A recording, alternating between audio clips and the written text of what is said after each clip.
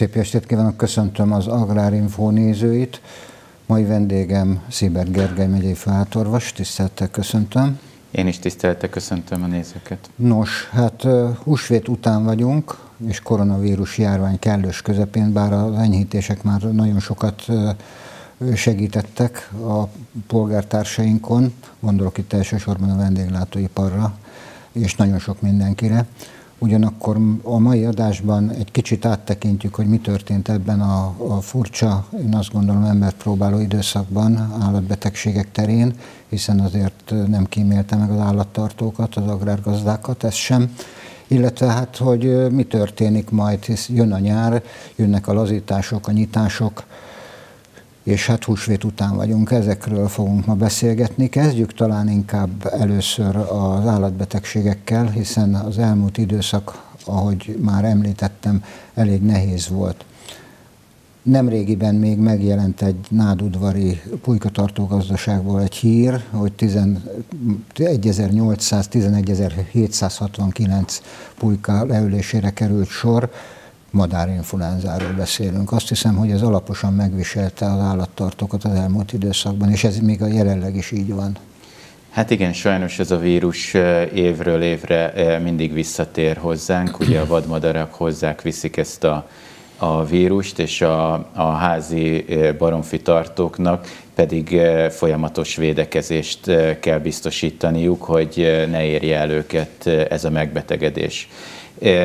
Hál' Istennek Fejér megyei gazdákat maga a vírus, illetve a gazdaságukat maga a vírus elkerülte, viszont a védekezést azt továbbra is foganatosítani kell. Ez azt jelenti, hogy a vadmadaraktól való védettség az csak a zárt tartással oldható meg, ez nem csak oldalról, hanem felülről is zárt kifutókat, illetve zárt ólakat jelent, hogy a vadmadár ne tudjon keveredni a házi baromfi állományjal, de ezen felül még azt is meg kell akadályozni a gazdáknak, hogy a takarmányhoz, illetve az alomanyaghoz hozzáférjenek a vadmadarak. Ez csak zárt takarmánytárolókkal, illetve az alamanyag zártartásával vagy fertőtlenítőszerrel való kezelésével oldható meg. Aki ezt mind megcsinálja, az nagy valószínűséggel mentesülni fog ettől a betegségtől. Mi történik az észleléskor? Mire kötelezhető a gazda?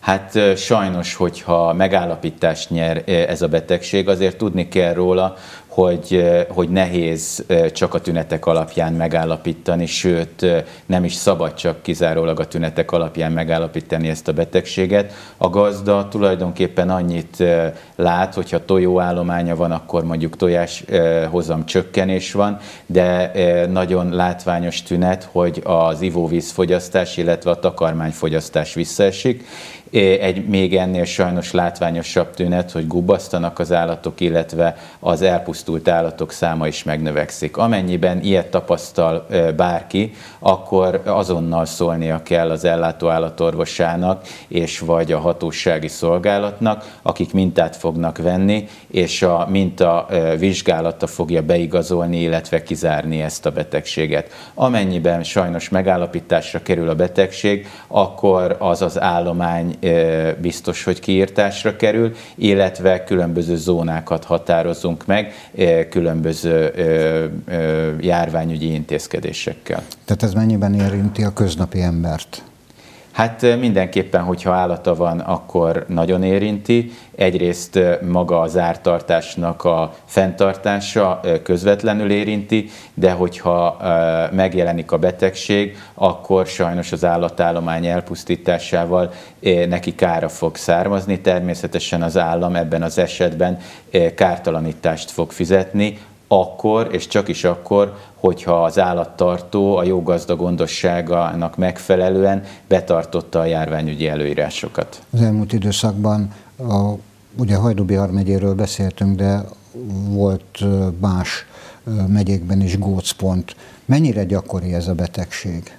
Hát sajnos évről évre előkerült, tavaly is volt, idén is volt, és éppen márciusban lett mentes az ország. Ugye először talán Komárom megyében egy pulykaállománynál került megállapításra, utána Bács megyében több termelőnél került megállapításra. Ez is jól jelzi, hogy a vadmadarak, ahova leszállnak, ahol megpihennek, ott üti fel a fejét ez a megbetegedés és ezeket sikerült a hatóságnak felszámolnia, és az ország elnyerte a mentességét, mert azt hiszem, hogy talán Rétisasban és, és más vadmadárban került csak megállapításra ezen esetek után, és erre jött néhány hete az a rossz hír, hogy egy Hajdú megyei termelőnél is megjelent a madárinfluenza. Mennyire gyakori ez egyébként Európában, a környező országokban? Tehát gondolok itt elsősorban a,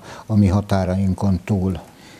Szinte a, a vadmadár vonulás valamennyi országában felüti a fejét. Tulajdonképpen ez is előre várható volt, hogy nálunk is megjelenik ez a vírus, de addig tulajdonképpen nincsen probléma, még vadmadárból mutatjuk ki, akkor van gond, hogyha ez házi madaraknál is megjelenik. Van egyébként egységes álláspont állatorvosi szempontból a megelőzésre, illetve a védekezésre Európában? Így van, hát uniós rendeletek írják elő azt a kötelezettséget, hogy ez, ez egy úgynevezett bejelentési kötelezettség alá tartozó állatbetegség, tehát nagyon komolyan kell venni valamennyi tagállamnak ezt a megbetegedést, illetve a védekezés az, az csak és kizárólag a járványügyi zártságnak az elrendelése, illetve hogyha felüti a fejét, akkor pedig a, az állatoknak a, a kiírtása, és ezzel a vírustól való megszabadulás. Tehát ez kiemelten fontos élelmiszerbiztonsági szempontból, tehát a vásárlókhoz nem kerülhetnek olyan áruk alapból, amelyek ilyen veszélyeztetett környékről származnak. Hát így van, ezek a, a, az, az elpusztított állatok természetesen nem kerülhetnek a, a fogyasztóhoz, de a belőlük termelt termékek sem, tehát nagy bizonyossággal mondható, hogy már gyanú esetén is megkezdik az állomány felszámolását, így a fogyasztókhoz ilyen termék nem juthat el. Tehát a nébik figyel erre?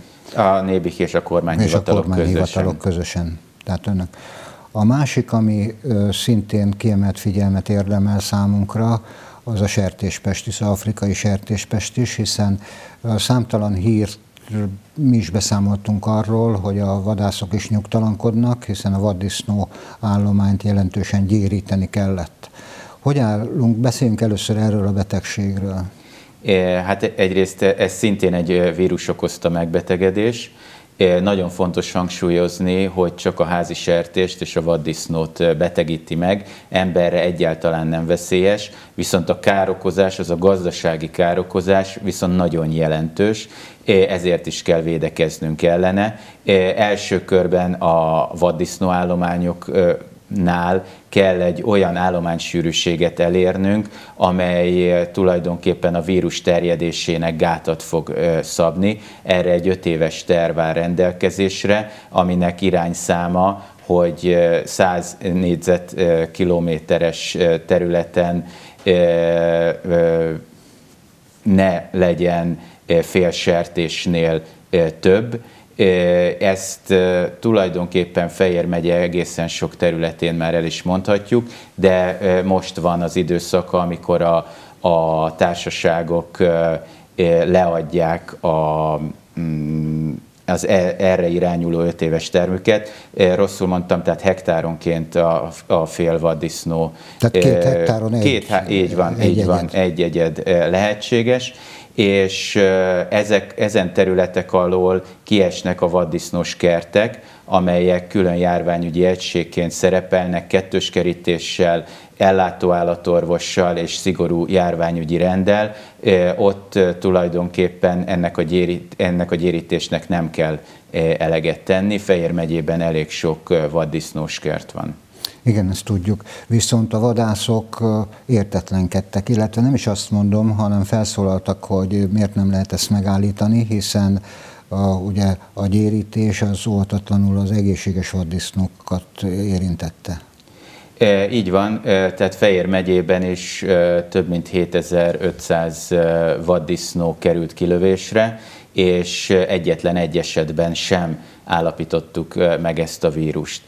Nem is az a cél, hogy a beteg vaddisznókat lőjük ki, ugyanis ez a vírus sajnos elpusztítja azt a vaddisznót, amelyikbe amely, amelyikben elkezd szaporodni, hanem arra kell odafigyelni, hogy az állomány sűrűség csökkentésével a vaddisznók egymás közötti érintkezését csökkentjük le, így a vírus terjedésének szabhatunk gátat. Tehát ez mindenkinek érdeke. Ugye Azt gondolom, hogy igen. Említette az imént, hogy az a vaddisznó, amit kilőnek, az fogyasztható. Hiszen erre van példa. Így van, tehát ugye a vírus az nem veszélyes emberre. Azt gondolom, hogy ez egy nagyon fontos megállapítás, tehát nem kell félni sem a sertéshústól, sem a vaddisznóhústól. Különböző járványügyi körzetek lettek kijelölve, az ország területén. Vannak közepes kockázatú területek, magas kockázatú területek, illetve olyan területek, amelyeket fertőzött területnek hívunk, ahol ott van a vírus, megállapításra került. A különböző területekről származó vaddisznókra, más lelőtt vaddisznókra más-más szabályok vonatkoznak, de összességében elmondható, hogy mind a közepes kockázatú, mind a magas kockázatú területekről származó vaddisznóhús az egy negatív vírus kimutatás után, tehát mindegyikből mintát veszünk, és hogyha nem találjuk meg benne a vírust, akkor az természetesen fogyasztható. Ismerve hazánk földrajzi helyzetét, nagyon nagy az átjárás, tehát a vaddisznóknál is. Tehát vannak-e megállapodások a szomszédos országokkal az ilyen helyzetekről?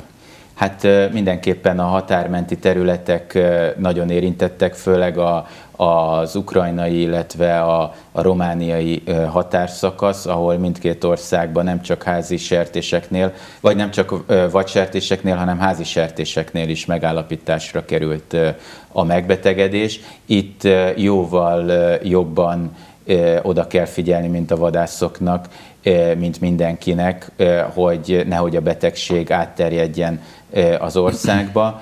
A szlovákiai régióban is egyrészt megállapításra került a betegség, másrészt természetesen a vadállatok nem ismerik az országhatárt, így, így átmehetnek, de természetesen van egy úgynevezett betegség bejelentő rendszer, amiről minden héten minden tagállam folyamatosan adatot szolgáltat, így pontosan tudjuk, hogy Európában hol van ez a megbetegedés, és azon belül is GPS koordinátára pontosan minden tagállam tudja a másik tagállamról, hogy hol vannak a, a pozitív megállapítások.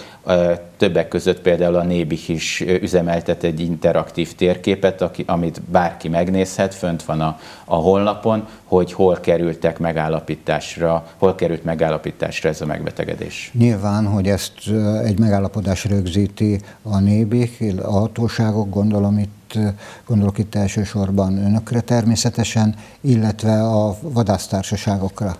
Ez a a megállapodás, ez, kit, ez külföldön is így van?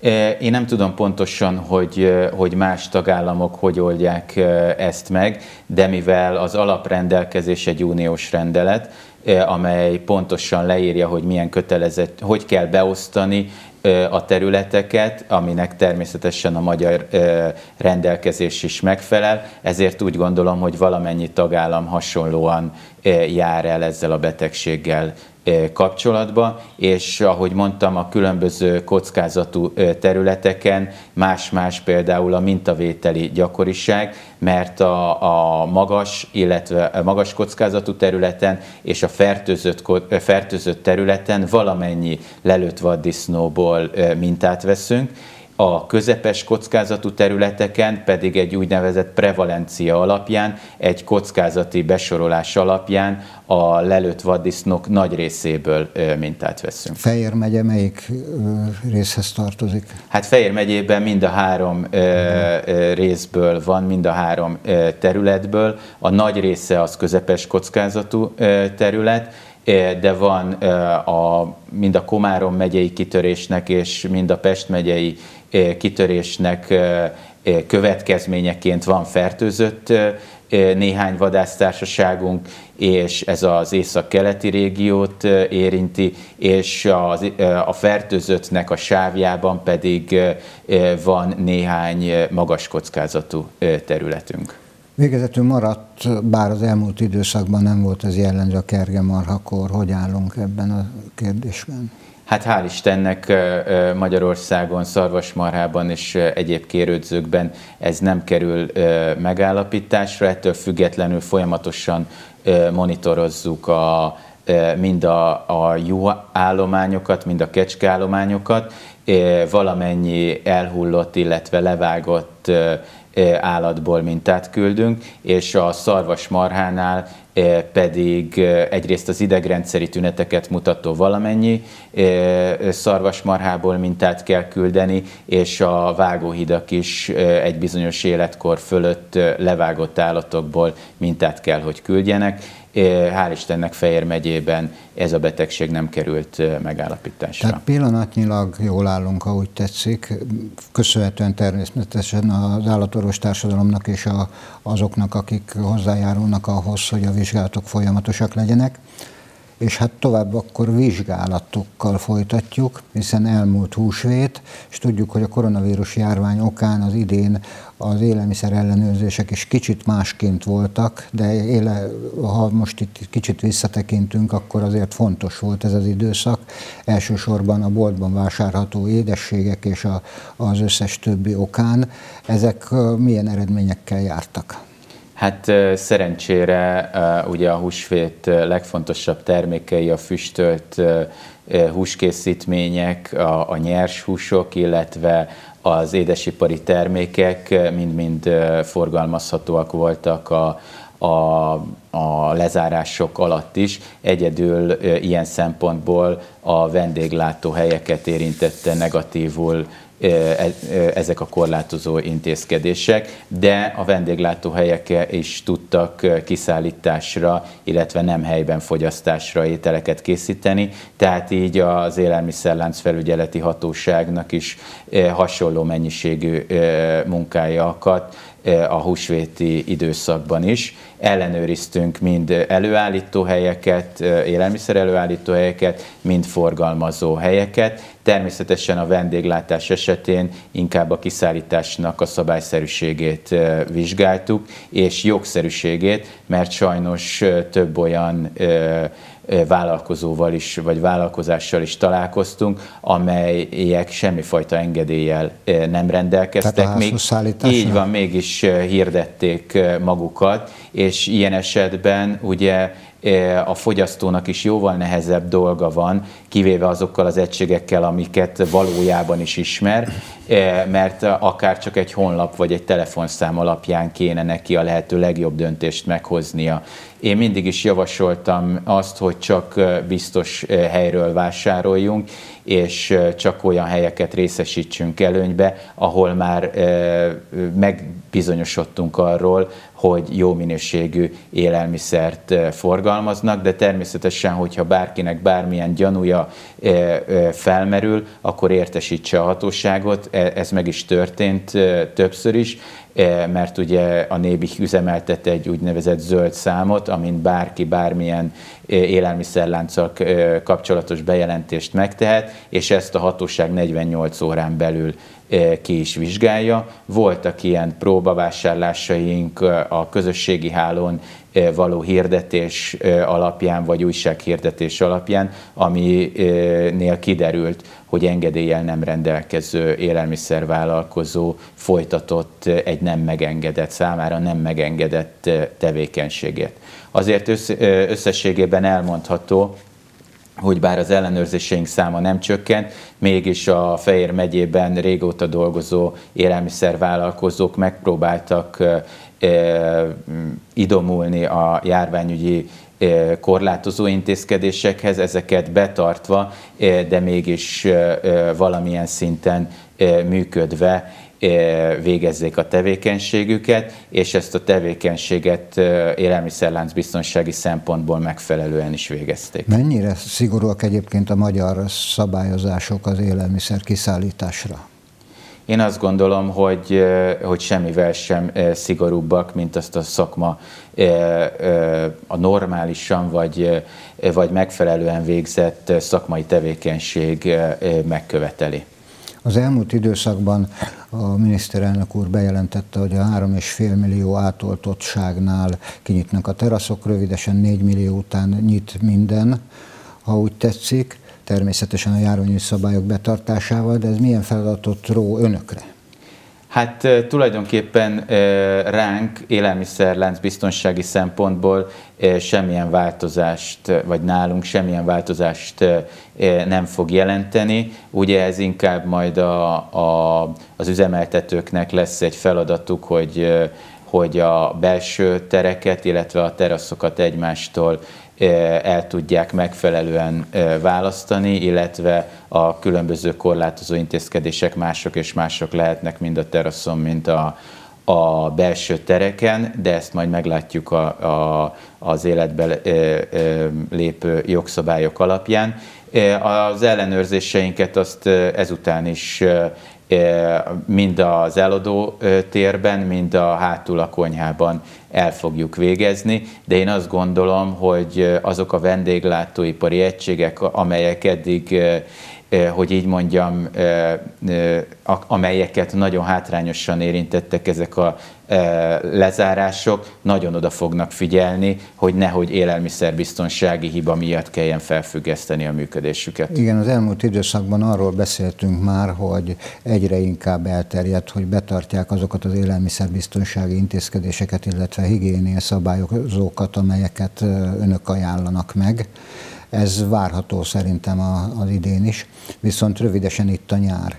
És most ez egy kicsit, az elmúlt nyár az más volt, és ha a teljes nyitás megtörténik, akkor milyen feladatok várnak önökre? Hát, mint minden nyár, a, a legnagyobb feladatot a tópart jelenti. Ilyenkor az ideiglenesen működő egységek is kinyitnak, tehát nagyon sok büfé és egyéb ideiglenes árusítóhely, gondolok itt a, az egyre gyakoribb street foodra, tehát a különböző mozgatható büfés kocsikra, a, a, amelyek megjelenhetnek több helyen is, nem feltétlenül csak egy strandhoz vannak kötve. Ez jelenti a legnagyobb feladatot. Én nagyon bízom benne, hogy azok a vállalkozások, amelyek vagy most indulnak, vagy most indulnak újra, azok meg fognak felelni a jogszabályi elvárásoknak bátran mondom, hogy keressék föl a Nébiknek a honlapját, eh, ahol most is eh, hasznos tanácsokat olvashatnak a, a teraszokra eh, vonatkozó